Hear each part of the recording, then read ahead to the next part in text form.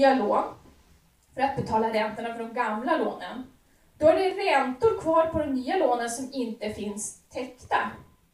Och det här gapet, det här hålet, är att det finns penningmängd för räntorna.